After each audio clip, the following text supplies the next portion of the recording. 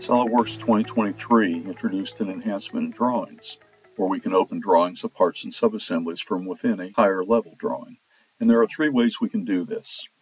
We can open a drawing from the Feature Manager. It's accessed from the right-click menu.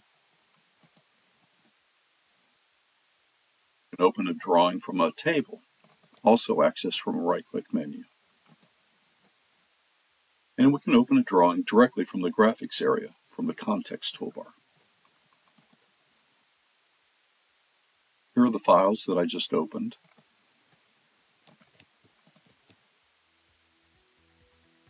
This can save a lot of time since it's much faster than doing a file open and having to search for the file we want. Thank you.